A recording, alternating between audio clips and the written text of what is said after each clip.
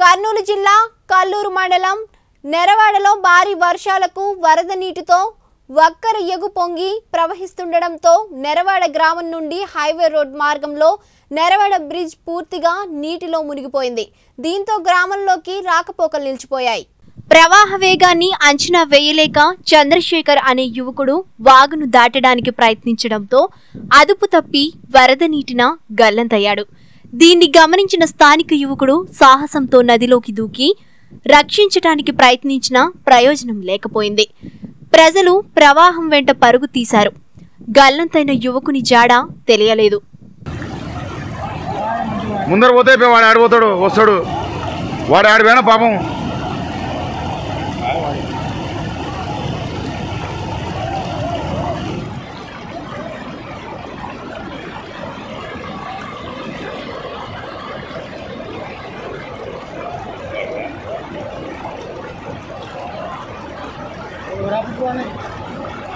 ఎవరు కొడుకోడు కొడుకు. దీంట్లో ఆట పోతే ముందర పోతే ఆడబోడు వాడు ఆనానే తిరుగుతున్నాడు